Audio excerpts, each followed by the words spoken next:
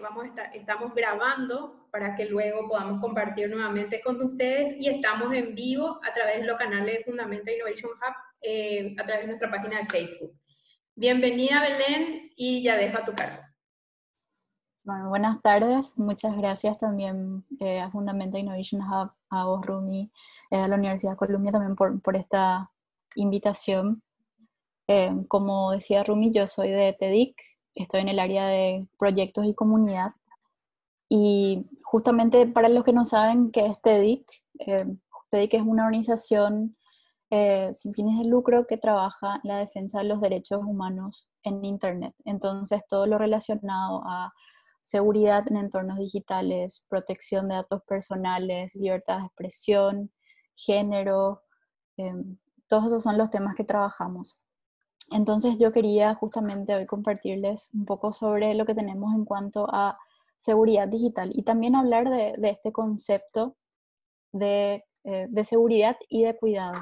Entonces voy a compartir mi pantalla con ustedes eh, para mostrarles mi presentación y de paso así hablarles un poco de, de algunos tips y algunas herramientas también que son pertinentes a nuestro contexto ahora mismo, en el cual es súper importante ejercer esta práctica del, del cuidado. ¿no?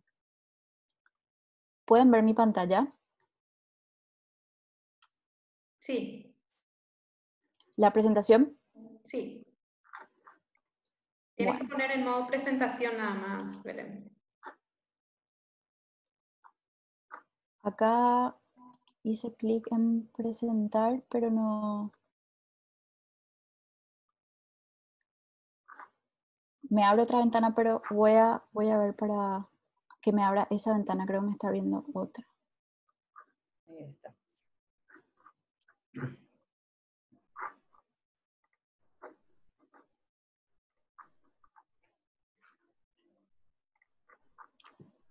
Eh,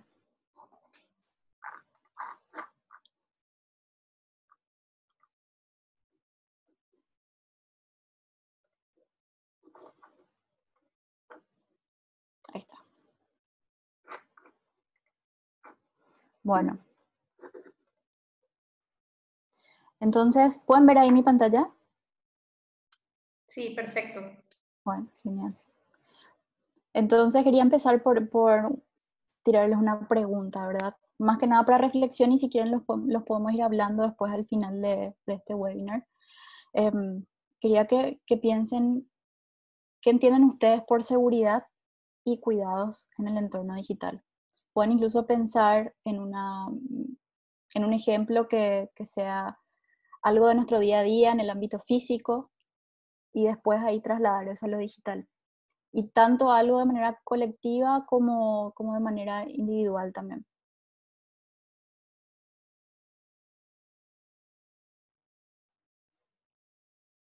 Les puedo dar unos, unos ejemplos también mientras que digamos que estamos ahora en nuestras casas y una cuestión de, cuidado sería el aseo, ¿no? Tener nuestros espacios bien ordenados, eh, con las prácticas de limpieza también.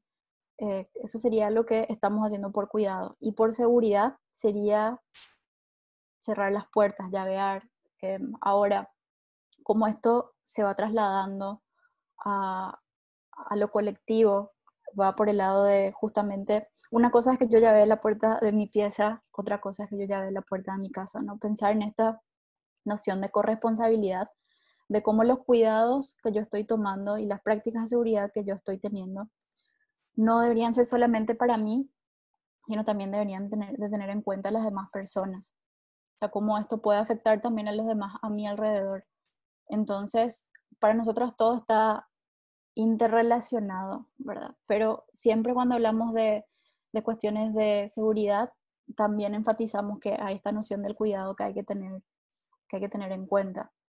Y un ejemplo de cómo esto se traslada a lo digital sería, yo, tengo, yo tengo mis redes sociales con todas las características de privacidad, eh, de seguridad, no quiero que me etiqueten en fotos, pero si yo después le etiqueto a, una compañera que quizás no, no hizo su configuración, pero tampoco quiere aparecer, em, ahí yo no estoy teniendo en cuenta el factor de, seguridad y cuidado a nivel colectivo. Entonces ese es un pequeño ejemplo que les quería dar para reflexionar antes de, de ir a lo siguiente. Entonces, hablando de Internet, si bien Internet fue creada como una herramienta para crear estos, estos espacios de comunicación, compartir información, expresarnos también, crear distintas comunidades y, nichos, también hay dinámicas que justamente nos dañan.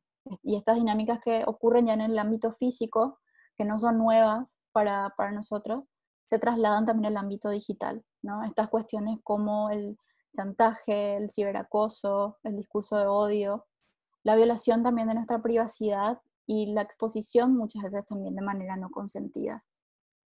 Entonces, les quería hablar un poco de las dinámicas dañinas más conocidas dentro del ámbito digital, que son el acceso o control no autorizado. Eh, eso es cuando alguien realiza un ataque o accede a mis cuentas sin consentimiento o accede a mis dispositivos sin consentimiento. Después también está el control y manipulación de la información, ya sea a través del robo o algún tercero obtiene la información sin tu consentimiento. Eh, y también la, la, pérdida o control de información que tenemos en, nuestros, en nuestras distintas cuentas, ¿verdad? En las distintas plataformas que utilizamos. También el monitoreo y acecho y la vigilancia, o sea, el monitoreo y acecho que sería la vigilancia constante a la vida de, de alguien en línea o también de un conjunto de personas. Esto es importante también eh, en este punto es importante también resaltar de que no es algo que, se, que una sola persona lo realiza, también lo, lo pueden realizar un grupo de personas, que se conoce como ataque organizado. Y también el discurso de odio, que me imagino que acá la mayoría, por lo menos alguna vez, habrá tenido una instancia en la cual habrá, habrá recibido un comentario súper dañino, ¿verdad? Es un, discurso que justamente refleja eh, contenido que es usualmente bastante machista, bastante, bastante, ¿cómo se dice? Bastante nocivo, ¿verdad? Es como busca justamente eh, vulnerar la dignidad de, una persona. También está el acoso. El acoso también sucede justamente en estos espacios, eh, de manera repetida, de manera no solicitada. Son acciones que molestan, son acciones que también pueden intimidar a las personas, son acciones que sí realizan un daño, em, que no solamente porque no sea algo que ocurre físicamente o que se puede tangibilizar físicamente, es algo que, es algo que de verdad tiene un impacto en, en la persona o en el grupo de personas que, que, son acosadas. Después también las amenazas que, que se reciben a través de las plataformas, la difusión de información personal o íntima, que justamente es compartir o publicar sin consentimiento información de, contenido íntimo de, una persona, con el objetivo de que justamente le, afecte de alguna manera, ya sea a través de, de esa acreditación o, o alguna, alguna otra instancia nociva también. Y están las instancias de extorsión, ¿verdad? Obligar a una persona que em, siga en contra de su voluntad ciertas peticiones de, de un tercero Em, para justamente poder sacar algo a cambio, ¿verdad? El desprestigio también muy en mano con la desacreditación, ¿verdad? Estas, estos comportamientos que se manifiestan en línea que buscan justamente desprestigiar la imagen de una persona em, desde cualquier manera, ¿verdad? ya sea en lo profesional como también en lo social, entonces es algo que justamente impacta en, muchos ámbitos. El abuso sexual también es una instancia que ocurre, que es algo que surge a, partir de la explotación sexual de, una persona en contra de su voluntad. Y esto también implica, así como la extorsión, la obtención de un beneficio a cambio. Y también las afectaciones a canales de expresión. ¿A qué me refiero con eso? Sería a estos espacios en común que habitamos, por ejemplo, algún grupo de comunicación, eh, ya sea un grupo de WhatsApp, digamos, en donde hay como acciones deliberadas para justamente desprestigiar a la persona, afectar a la persona, hacer que esa persona eventualmente salga de esos espacios y que ya no los pueda utilizar más como un punto de expresión y comunicación. Esa es otra manera también de, de justamente ejercer la violencia en estos espacios. Y también cuando nos ocurre algo, sea cual sea de estas cuestiones que, fui mencionando, y acudimos a los actores con poder regulatorio que hacen caso omiso de lo que nos ocurre. Eh, muestran falta de interés, falta de reconocimiento, acción o incluso minimizan lo que nos está ocurriendo. Entonces eso, eso es algo que también denota como, como violencia en estos ámbitos, como, como estas dinámicas que nos dañan. Ahora, em, en cuanto a prácticas y herramientas para mejorar cuidado y seguridad en entornos digitales, estas prácticas y herramientas son justamente para poder ver cómo podemos defendernos ante estas cuestiones eh, nocivas que ocurren en los entornos digitales y para también justamente mejorar el nivel en el cual estamos habitando estos espacios, para hacerlo también de una manera mucho más libre, mucho más segura, donde podamos justamente expresar eh, quiénes somos sin em, justamente estar em, muy expuestas a, estas cuestiones nocivas que ocurren. Entonces, lo primero que muchas veces eh, mucha gente no, no le tiende a dar tanta importancia, pero es como una base súper importante. Lo primero son las contraseñas.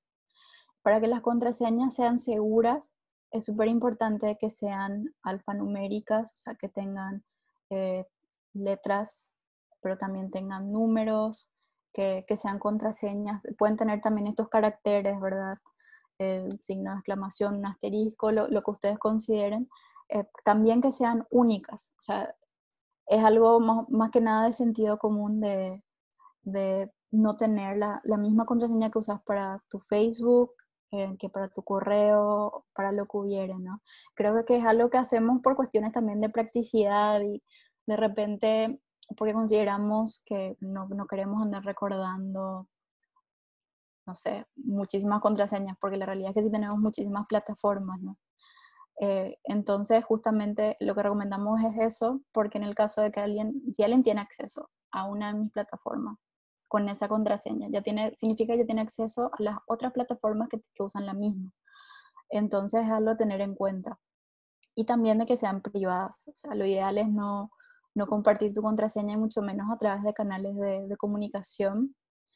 Y obviamente no, no, solemos compartir con frecuencia la, contraseña de nuestras cuentas personales por, em, por un canal de comunicación, pero imagínense en casos de, trabajo y mucho más ahora que eh, de repente ya nos encontramos trabajando de manera remota y tu, compañero te pide la contraseña del eh, canal del correo institucional y le tenés que pasar de alguna manera, ¿no? Entonces ahí se recomienda justamente utilizar un canal de comunicación que sea seguro a través de, de un canal de mensajes que se puedan autodestruir y que puedan justamente, después de que, de que esa persona termine de usar la cuenta, en el caso de que sea lo que momentáneamente necesita, que eso se pueda cambiar posteriormente.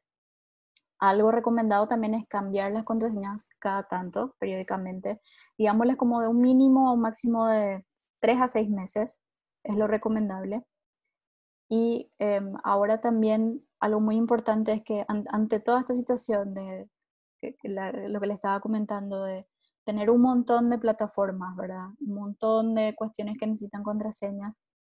Para la practicidad de ustedes, les recomendamos siempre utilizar un gestor de contraseñas que sería una especie de caja fuerte en donde ustedes tienen una contraseña maestra, que es la única que tienen que recordar, y al ingresar esa contraseña, ahí tienen acceso a todas sus otras cuentas y a sus contraseñas. Es algo que ustedes pueden configurar muy fácilmente y es algo que de verdad les va a servir bastante también para poder asegurarse que sus contraseñas estén siendo seguras también. Porque algo que hoy en día puede ser seguro, quizás en el día de mañana no. Entonces eso también es algo que la plataforma les, les provee esta manera de medir la seguridad de sus contraseñas a la par. Recomendamos estas dos que están acá en la, en la presentación. Una se llama, o sea, son de Kipas, pero la de móvil es DX y la de escritorio es XC. Ambas son gratuitas y ambas son de software libre también, no, no son privativas. Y justamente también funcionan para Windows, para Mac, para Linux, o sea, para cualquier sistema operativo. Entonces son, son cosas muy prácticas también que pueden pasar la, base de datos de sus distintas plataformas a través de un archivo que no se puede abrir a no ser de que tengas un gestor de contraseñas y que tengas acceso a esa contraseña maestra. Entonces, para algo, algo también eh, que nos pareció muy genial era este póster en una universidad en Holanda que dice básicamente, trata tus contraseñas como tratas a tu ropa interior. No las compartas, cambialas periódicamente y no las dejes sobre tu escritorio. Son prácticas que no, no hacemos nosotras con, nuestra ropa interior, ¿verdad? Espero. Entonces es un consejo también para tener en cuenta. Les recomiendo también que puedan ingresar a esta plataforma. Es una plataforma que se llama How Secure is My Password. El enlace les dejé ahí arriba a la izquierda.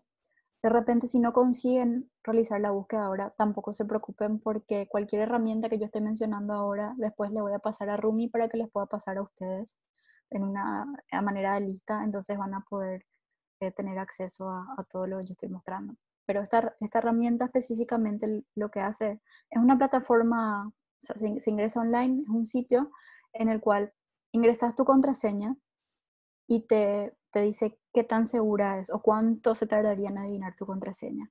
Entonces, ahí como ven en el ejemplo de abajo a la derecha, donde alguien colocó 1, 2, 3, 4, 5, dice que al instante se puede adivinar la contraseña versus ahora arriba en el ejemplo a la derecha superior, la esquina derecha superior, dice que va a tardar 43 quintillones de años en, que se adivine la contraseña. Entonces te puede medir el nivel de, seguridad también de las contraseñas que están utilizando.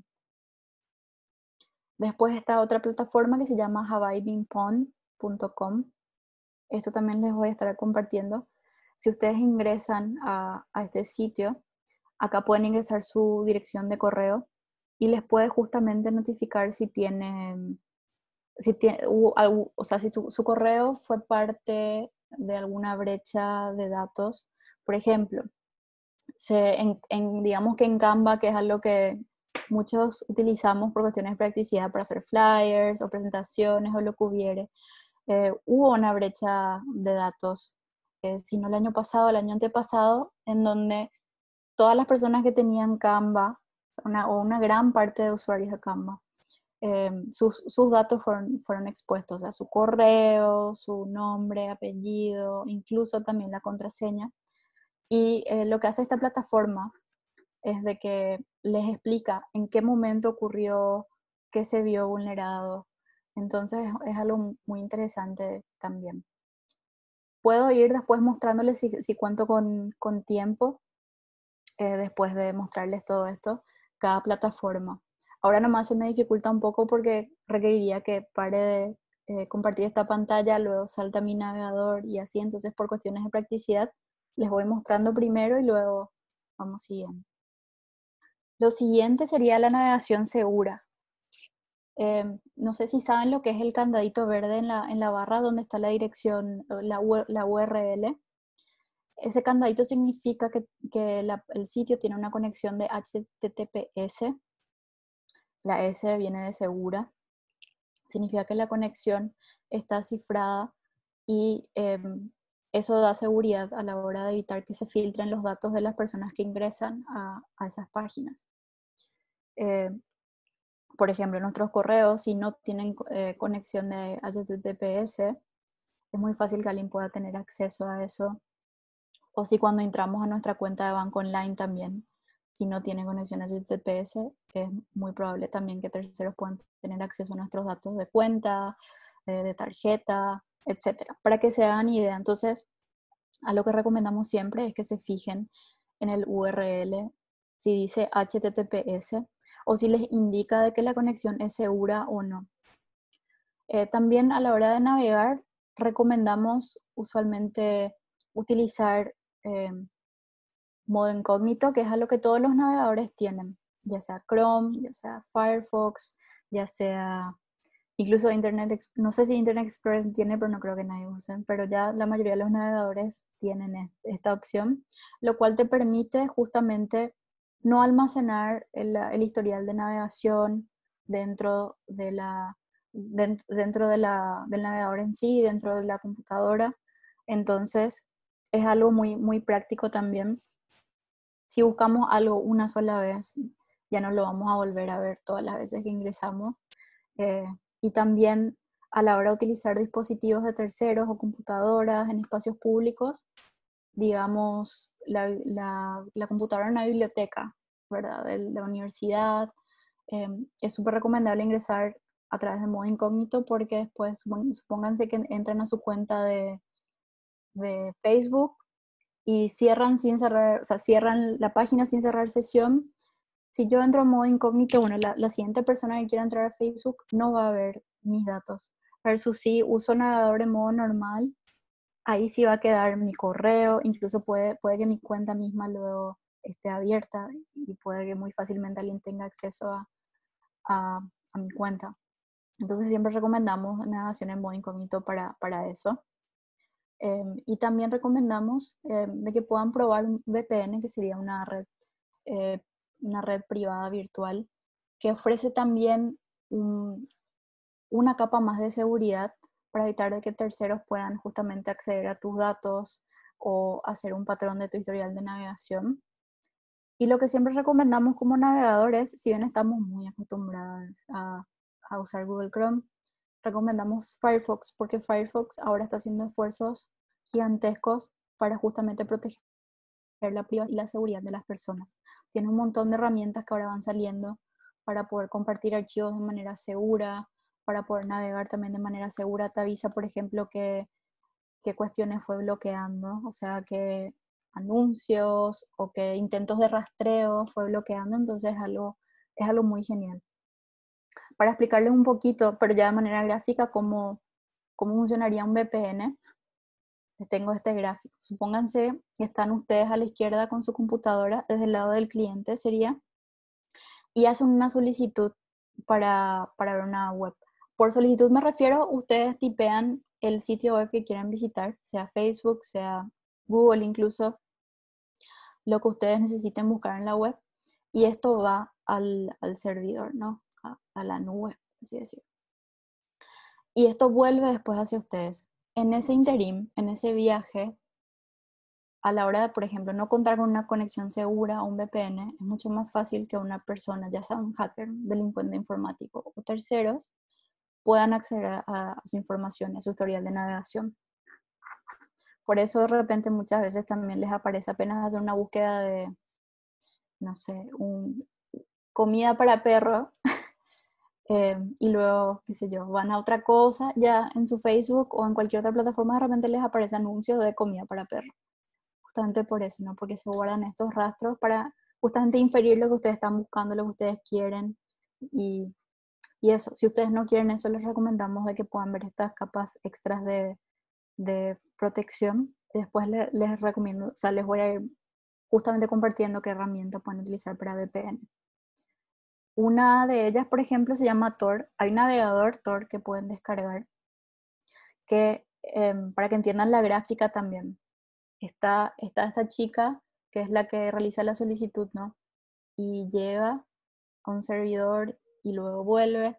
Esto, en vez de aparecer de que yo estoy realizando la solicitud desde Asunción, Paraguay, va a ir primero por un túnel para luego ir por otro. Entonces, de Asunción eh, va, qué sé yo, a Santiago y después se va a Moscú en Rusia y después se va a China y después se va a Noruega y aparece que yo estoy haciendo la búsqueda al final desde Noruega. O sea, como que confunde eso y hace que sea mucho más difícil que, que se pueda generar este rastro o, patrón de navegación. Lo que sí hay que tener en cuenta con Tor es, ya que no tenemos em, un nodo acá en Paraguay, hace que la navegación sea un poquito más lenta porque tarda más en, procesarse la, búsqueda justamente por eso, ¿verdad? Pero es una herramienta que sirve bastante para poder ofuscar nuestra, nuestra dirección de IP, ¿verdad? Que sería lo que nos ubica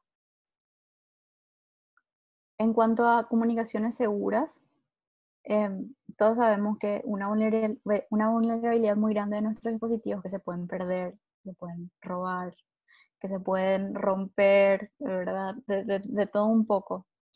y son una extensión básicamente de nosotros mismos porque ya tienen tanta información nuestra, tienen tanta información de otras personas también, las interacciones que hacemos, las cosas que compartimos. O sea, tienen muchísima información y em, también cuentan con, muchísimas, eh, sí, muchísima información, tanto cualquier información que no nos importe compartir, pero también información de índole muy, muy personal.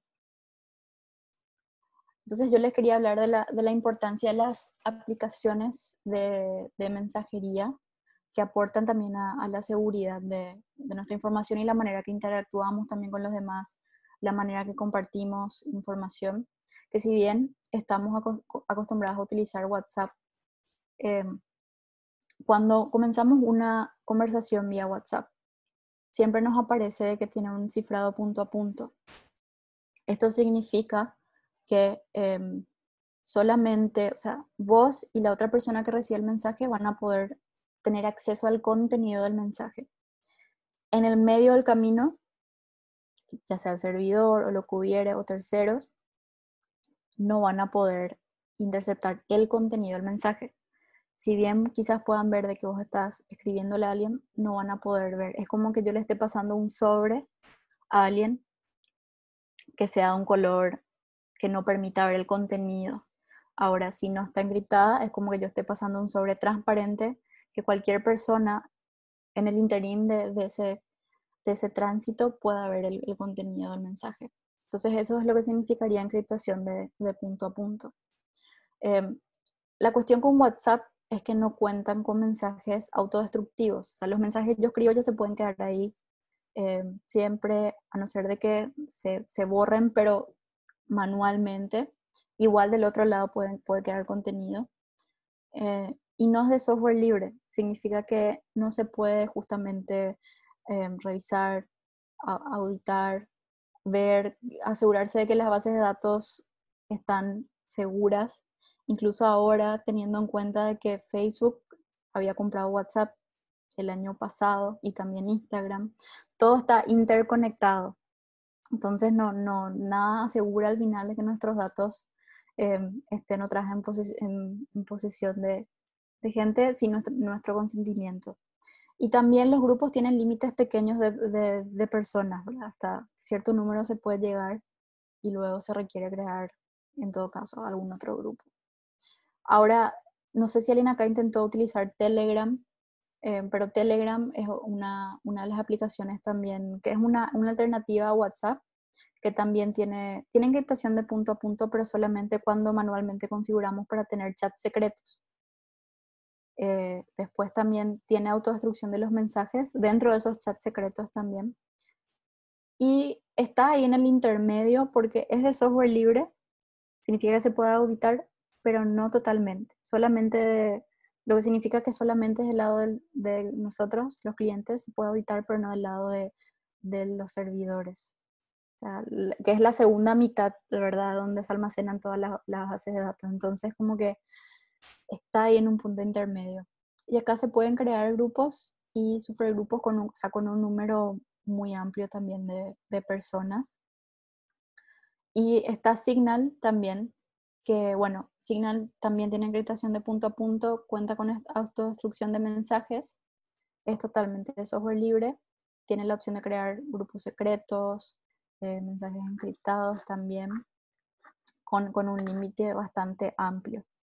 Y em, justamente recomendamos eh, siempre Signal, o sea, a que puedan intentar utilizar, porque tiene un montón de, de herramientas que están basadas en justamente proteger la, la privacidad de, de, los usuarios. Entonces, si alguien ya utiliza Instagram, sería Instagram, digo Signal, sería interesante que puedan comentar también qué tal su experiencia y, nada, porque hay un, hay un montón de configuraciones que hacen que Signal sea una de las aplicaciones más seguras hoy en día. Una desventaja es de que me imagino que acá la mayoría estará familiarizado con los planes eh, de línea que tenemos o los planes de, Internet para nuestros dispositivos que ofrecen las, eh, las empresas de telecomunicación. La mayoría tiene la opción de darte WhatsApp gratis. Entonces, eso es una ventaja también para, para cualquiera utilizar WhatsApp y saber que no te consume los datos, ¿verdad? Incluso con esos paquetes de 2.000 guaraníes, tenés WhatsApp gratis por X tiempo. En cambio, la desventaja de utilizar estas otras aplicaciones, si bien son eh, más seguras, es que sí consumen datos porque todavía no, no existe un plan que te promueva Signal gratis o Telegram gratis. Entonces, eso, eso, es algo también que, que dimensionar, de que si optan por utilizar estas aplicaciones, em, les van a consumir los datos si es que no están, en o sea, no están conectados a, a Internet. Bueno, quería pasar entonces a lo, a lo, siguiente también. Ya hasta ahora les hablé de, de, navegación segura, de comunicación segura. Les quería justamente comentar sobre qué tienen en común estas acciones. Tomar fotos, enviar textos, realizar llamadas y navegar también en la web. Las cosas que hacemos casi todos los días.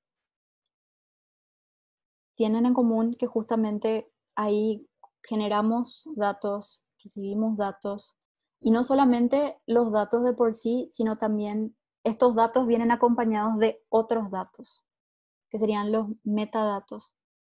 Así como, por ejemplo, creamos un, archivo, digamos, de, Word para, em, para el trabajo, para un trabajo de la facultad, Em, cuando entran en propiedades les aparece el tamaño, la fecha de creación, em, unas características ¿verdad? que ustedes mismos no fueron colocando manualmente, sino que ya automáticamente se fueron generando por detrás. Entonces lo mismo pasa con las llamadas que emitimos, los mensajes también, las fotos, los audios que enviamos. Y justamente esto genera un patrón, unos rastros nuestros eh, digitalmente. También las búsquedas que realizamos por Internet en especial. Entonces, esto se genera no, solo, no solamente por actividad nuestra, no solamente por las acciones que realizamos, sino también las acciones que, que otras personas pueden realizar eh, sobre nosotras mismas, ya sea me etiquetan una foto, me, envían un comentario, me dan un like, em, o me, me, envían algún audio o algo, ¿verdad? Como que ahí también va de mano con, con esto que les estaba hablando de la seguridad digital eh, colectiva. ¿Por qué son importantes eh, los metadatos? Porque justamente, primero que nada, ayudan a estructurar y sistematizar el, tipo de archivo, el tamaño, cuestiones así de repente que ayudan que todo esté más ordenado dentro de, nuestra computadora, dentro de nuestra, nuestros celulares. Em, pero también, de acuerdo a, a, todos los datos que tenga por detrás, permiten justamente inferir los comportamientos de una persona o identificar a la persona.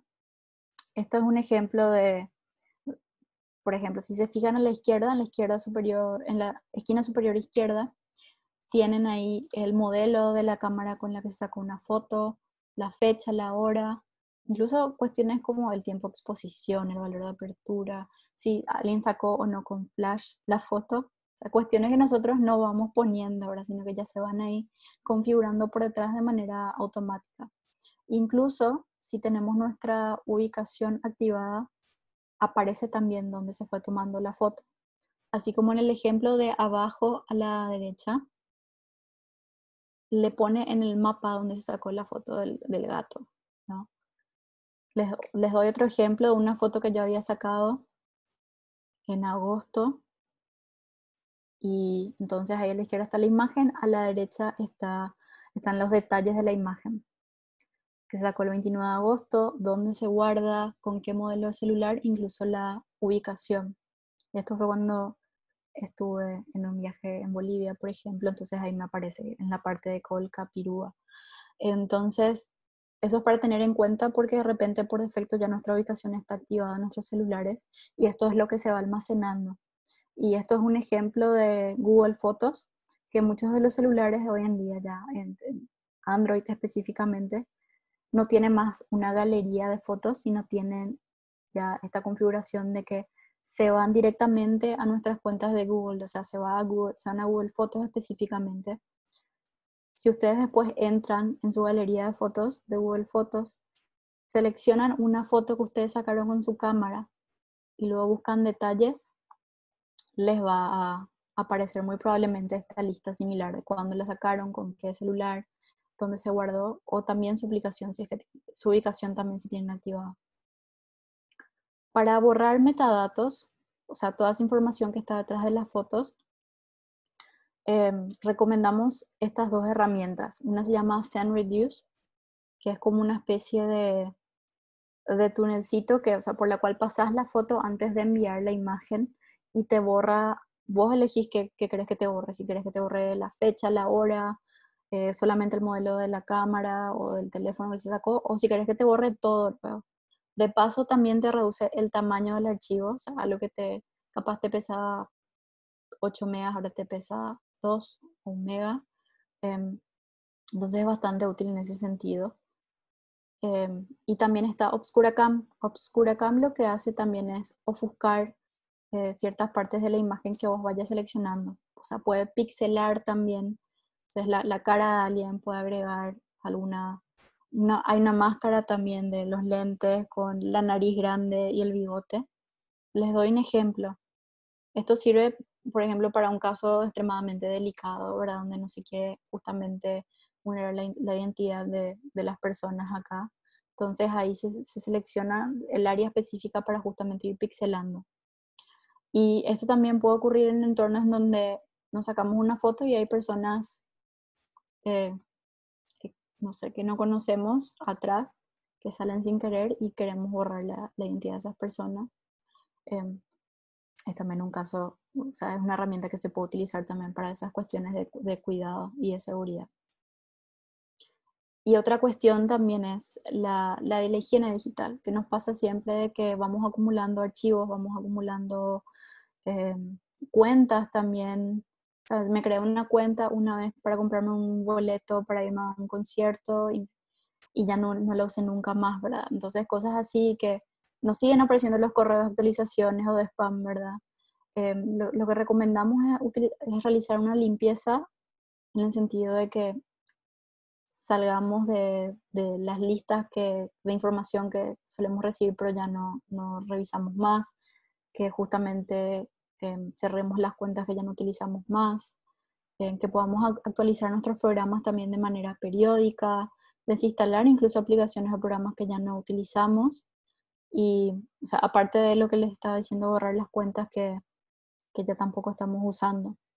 Y esto aplica no solamente a nuestros celulares, sino también a nuestra computadora. De repente, si se dan cuenta de que, de que tenemos un montón de, de, espacio ya ocupado, es porque usualmente tenemos archivos que ya ni revisamos, ya programas que ya ni utilizamos, pero están ahí tomando mucho espacio. Entonces es algo también que, que beneficia porque les da más lugar para, para poder justamente contar con otras cosas que de repente sí ya estén necesitando ahora. Y después está... Eh, yendo por, por, por, la premisa de que ya estamos, mm, ya tenemos muy arraigada la, cuestión de utilizar Google y todas las cuentas de Google, ya sea correo de Google, la nube de Google, que es el Google Drive, eh, también la, la, galería Google, Google Fotos, donde les está diciendo que automáticamente se suben las imágenes en muchos casos, en especial de Android.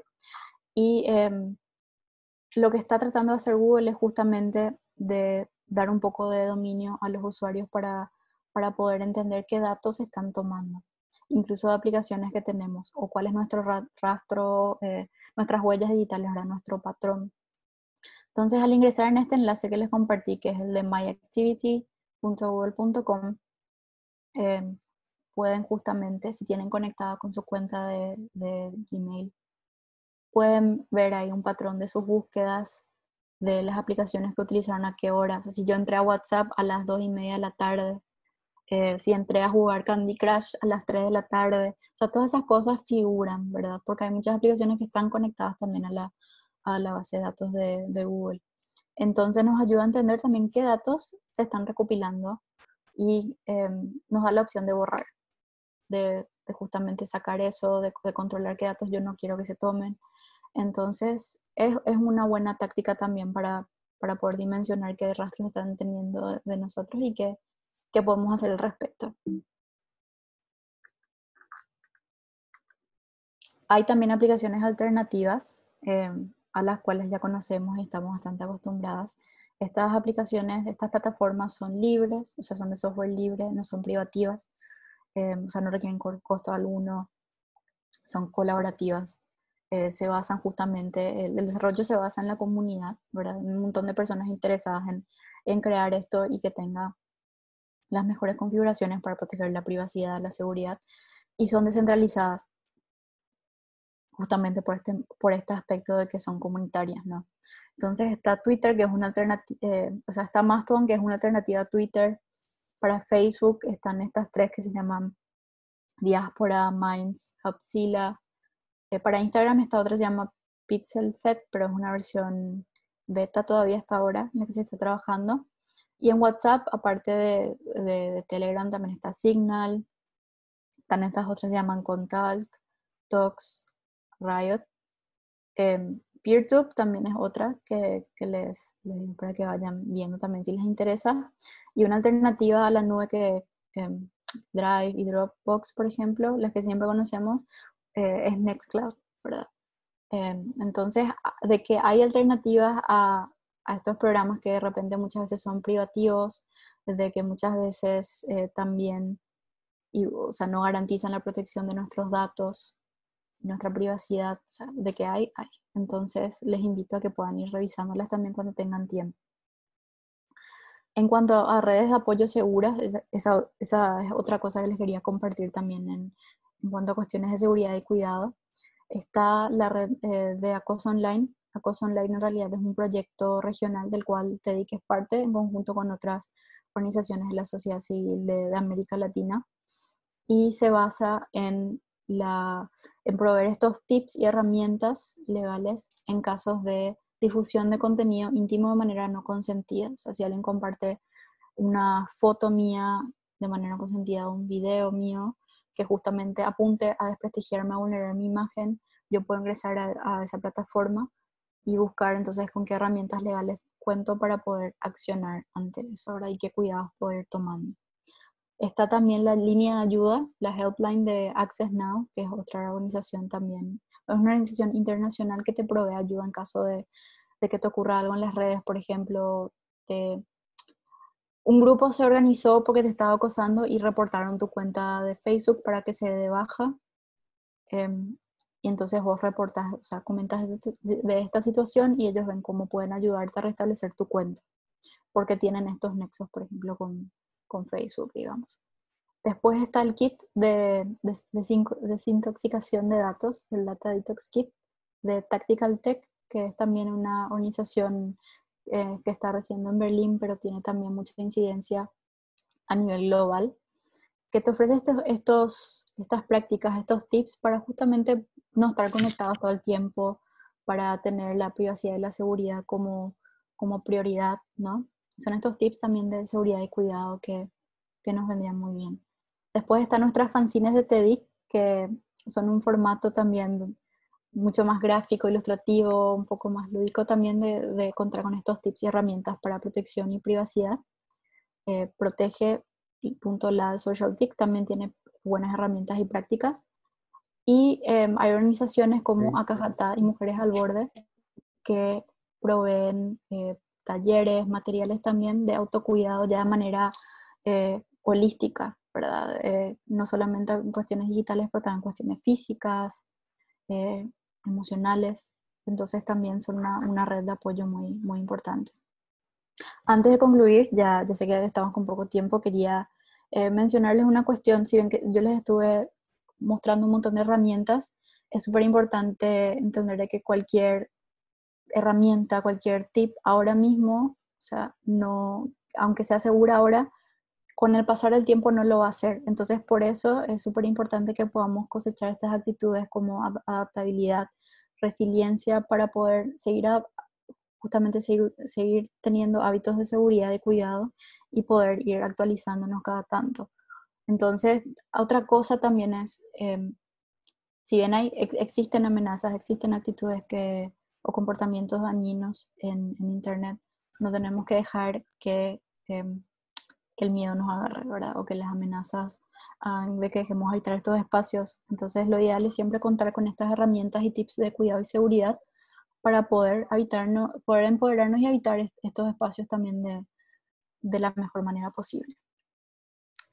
Gracias, Belén. Eh, vamos a ir ahora a las preguntas, ¿verdad? Tenemos a Ricardo Cubilla, quien levantó la mano y le voy a dar el micrófono para que haga su pregunta. Dale. Adelante, Ricardo. Ricardo. Ahí. No, parece que no. Ricardo, te escuchamos.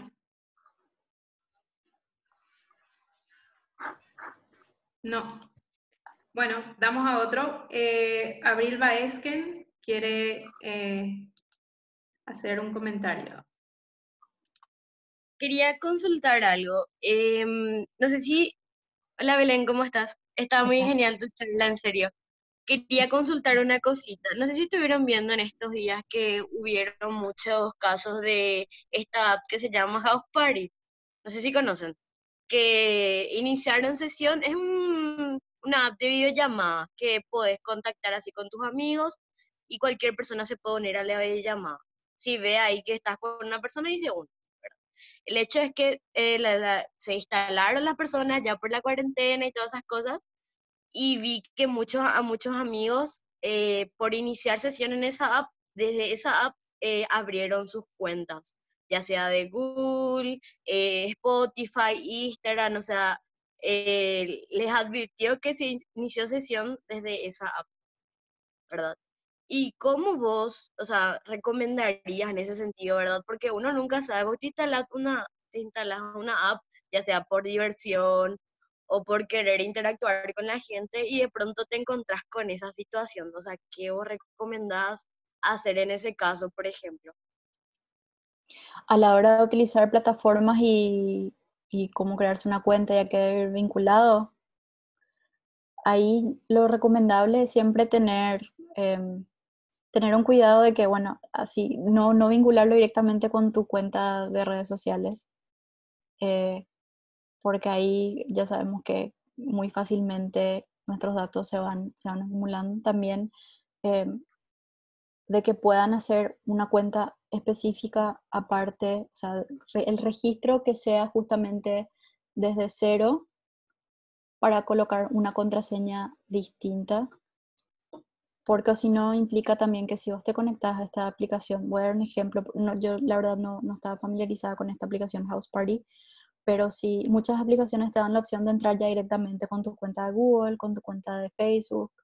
Em, ahí eso, eso implica que House Party tiene entonces básicamente la misma contraseña de tu cuenta de Facebook y tu, tu cuenta de correo.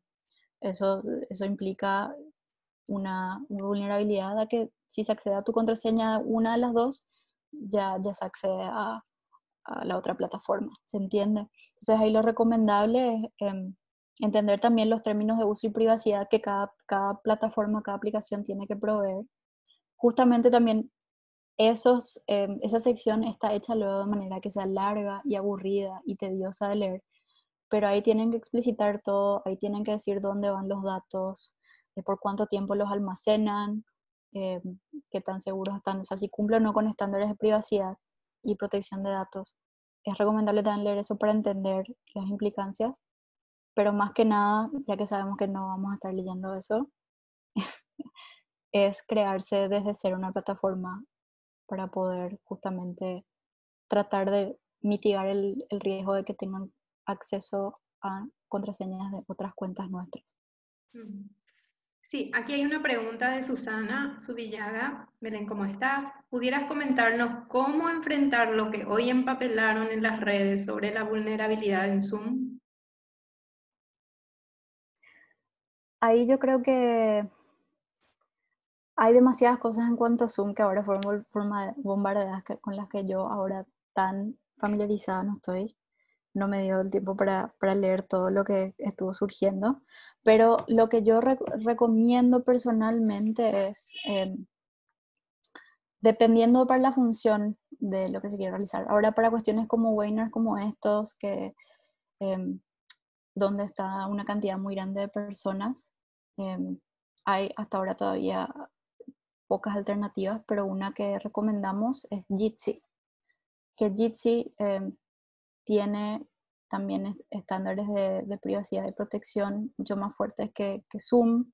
eh, según entiendo, Zoom ahora es una vulnerabilidad muy grande para Windows em, y también creo que da los datos a Facebook, cosa que es bastante problemática. Jitsi hasta ahora no, nadie pudo hablar de una vulnerabilidad que puedo encontrar dentro de esa plataforma y aparte tampoco te pide tus datos, ¿no? O sea, para registro. Puedes crear un, un enlace, puedes compartir a las personas para que accedan, puedes ponerle contraseña incluso para controlar eh, quiénes se pueden conectar y no requiere que vos te registres para poder utilizar esa plataforma. Creo que plataformas como Jitsi son las que yo recomendaría a la hora de enfrentar estas cuestiones cuando una plataforma tiene bastantes dudas en cuanto a, la protección. Y también otra cuestión es tratar de, em, de no ingresar o que tenga esta vinculación con, otras cuentas tuyas, ¿verdad? Tratar de que sea algo lo más apartado posible. Si es que no tenés otra alternativa más que utilizar eh, Zoom, por ejemplo. Creo que hablar de Zoom lo merece otra sección aparte.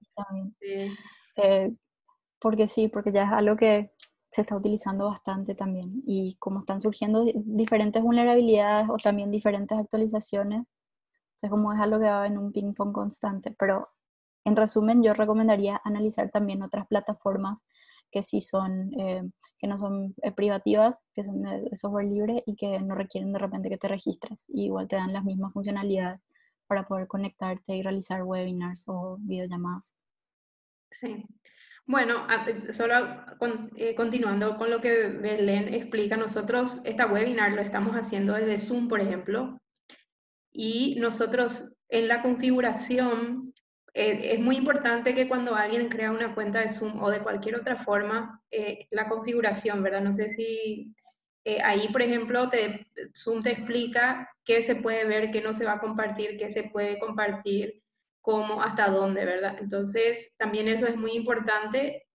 Si no quieren bajar la aplicación para ver los webinars, por ejemplo, no hace luego falta. Desde, desde la web directamente pueden ingresar. Entonces, eso también es otro, otro, otra forma de estar seguros, ¿verdad? Y cerrar sesión una vez que se termine, sea Zoom, Facebook o lo que sea.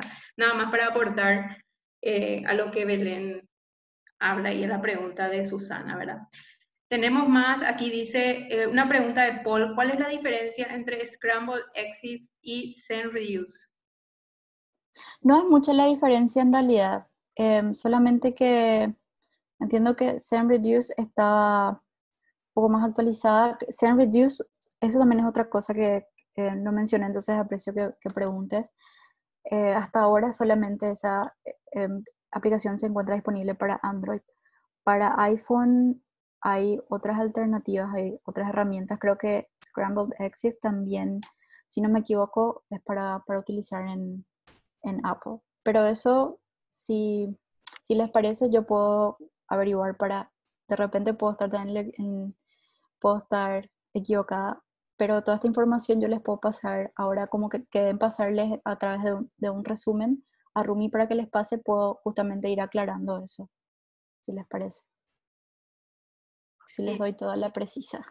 Sí, sí. Eh, además, estamos, eh, como les dije, estamos transmitiendo en vivo a través de Facebook Live desde la cuenta de Fundamenta. Pueden ingresar por ahí o por la cuenta de la Universidad de Columbia vía Facebook. Y también estamos grabando eh, la webinar para que después compartamos con ustedes con los datos que nos han facilitado para compartirles otra vez, ¿verdad? Vamos a ver, creo que aquí hay, se va a compartir la presentación. Sí, vamos a compartir la presentación. Eh, estamos grabando y bueno, no sé si alguien más tiene alguna pregunta y vamos cerrando el, el webinar, ¿verdad?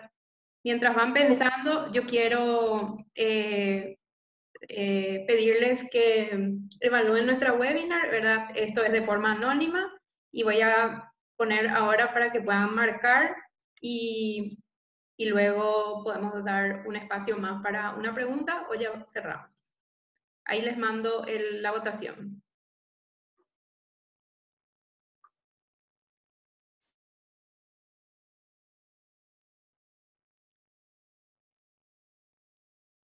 Yo puedo votar también. Sí, todos pueden votar.